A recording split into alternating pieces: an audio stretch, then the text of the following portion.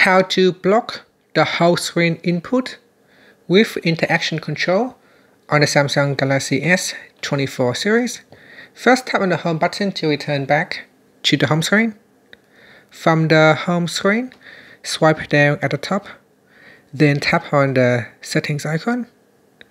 Next, from the settings page, we scroll down and then tap on accessibility then tap on interaction and dexterity.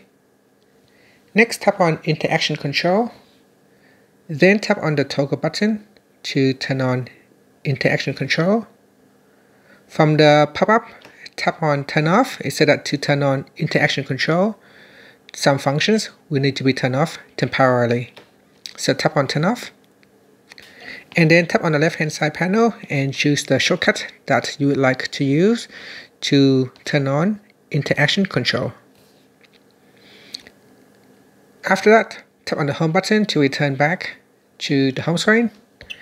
And then now we go and open up an app that you would like to use. So here, for example, I'm going to start the gallery app. So you, you can start, uh, for instance, a YouTube app or any app that you want. So here I've got um, an app right here. Um, here I've got my gallery app and I'll try to find a video. So I'm going to open up a video right here. So I'm going to start a video and then I'm going to press on the up button the volume up and the side button. So press on the button. Then from the pop-up menu tap on interaction control.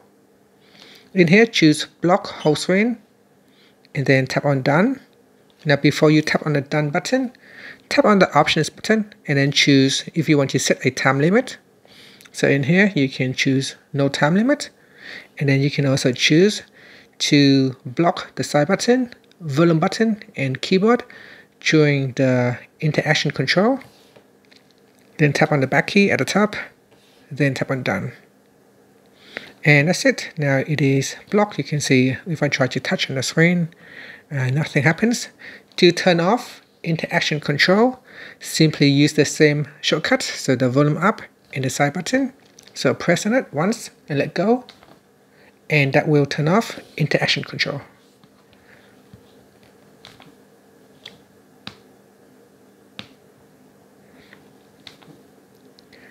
And that's it. Thank you for watching this video.